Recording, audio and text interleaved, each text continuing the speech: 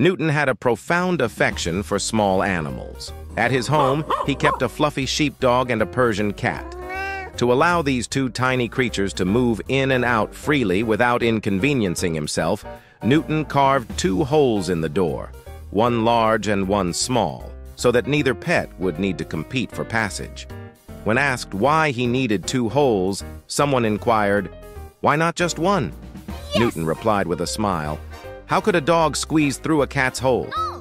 Newton's humor, evident in his witty response to the question about the two holes in his door, reflects his playful nature and cleverness in everyday situations.